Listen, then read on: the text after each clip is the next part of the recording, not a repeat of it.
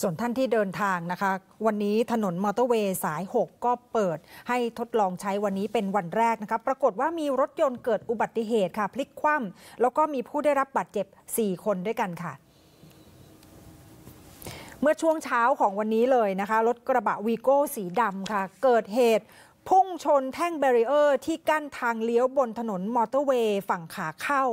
อำเภอขามทะเลสอจังหวัดนครราชสีมา รถก็เลยพลิกคว่ำมีผู้ได้รับบาดเจ็บทั้งหมด 4 คนนะคะ ต้องมีการช่วยเหลือนำส่งโรงพยาบาล ล่าสุดมีรายงานบอกอาการของทุกคนปลอดภัยแล้วนะคะนี่ฮะโทษนะตรงเนี้ยที่ทะลุเนี่ยคือคือพอมาถึงตรงจุดนี้เนี่ยต้องเบี่ยงไปทางซ้ายค่ะนะแต่ด้วยความที่ไม่มีใครชินทางนะครับเพราะเพิ่งเปิดใช้วันแรกค่ะ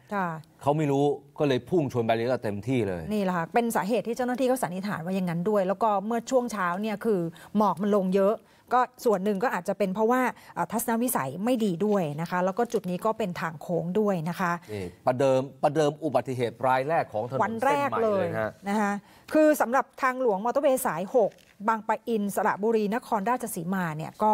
อย่างที่ทราบละค่ะทดลองใช้วันนี้เป็นวันแรกอำนวยความสะดวกให้กับคนที่เดินทางกลับภูมิลำเนาในช่วงนี้นะคะ แล้วก็จะได้ช่วยลดปัญหาการจราจรติดขัดในช่วงสงกรานต์ด้วยนะคะ แต่ว่าถ้าเราไปดูในเพจของ Facebook ตำรวจนครทางหลวง นครราชสีมาเนี่ยได้พูดถึง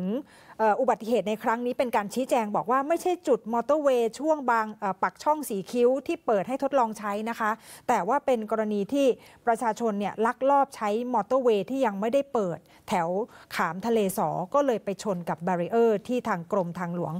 ปิดกั้นเอาไว้ เพราะฉะนั้นไม่เกี่ยวข้องกับจุดที่เปิดให้บริการ